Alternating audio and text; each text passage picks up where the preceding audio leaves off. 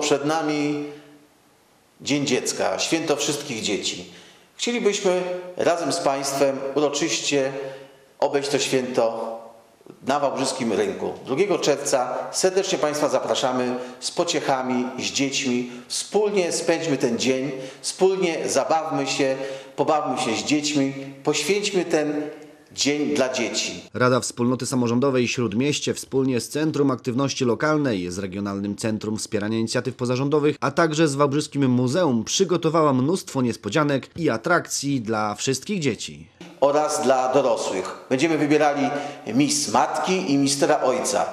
Ale y, to nie będzie najpiękniejsza matka i najprzystojniejszy tata, tylko najbardziej ukochanisza mama i najbardziej wspaniały, ukochany tata. Jednak gdyby pogoda nie dopisała, to organizatorzy mają plan B. Pogoda nie rozpieszcza nas ostatnimi dniami, dlatego jeżeli w niedzielę będzie deszcz, będzie zimno, to przeniesiemy naszą imprezę na przyszły tydzień.